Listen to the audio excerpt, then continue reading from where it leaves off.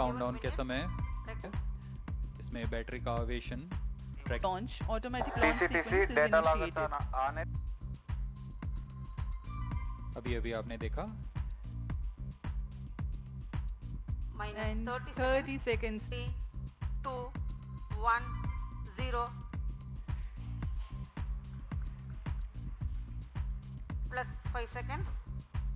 Uh, let me take this opportunity to thank once again the entire ISRO community uh, for their uh, work towards making this rocket one of the best in this class. And we are getting ready for the next launch campaign soon with the launch of the GSLV Mark 3.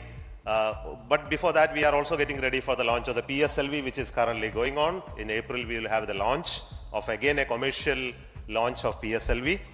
And um, we are also commencing the campaign for the GSLV Mark II as well. So uh, SDSC SHAR is going to be buzzed with a lot of work for the subsequent launch missions, which will be duly announced.